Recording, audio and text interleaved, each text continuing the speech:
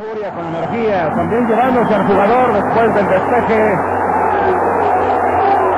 Y ahí el cambio de, palabras, tranquilizándose. Jugaba a Pablo Larios y a Ruiz Esparza. Aquí viene León. Tita, el ídolo, listo para cobrar. No renuncia al ataque León, hay cinco dentro del área. Entre ellos, por supuesto, Carlos Turrubiates, el autor del gol. Doblemente en la barrera, el balón pasado, el León.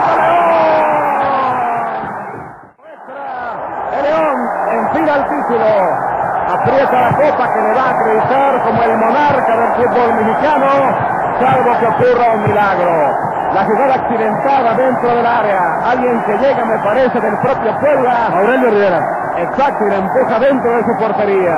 Aquí está el disparo de Tita. Rivera, qué tragedia. Está dotando en su propia meta Ernesto García. Sí, un autogol de Aurelio Rivera, lo peor que le puede pasar a un jugador en una final, Javier, y hay que hacer notar, en todo el partido el Puebla había ganado casi todas por arriba, casi todas eran de Ruiz Esparza, de Rivera, de Pablo Larios, en los dos goles en el primer...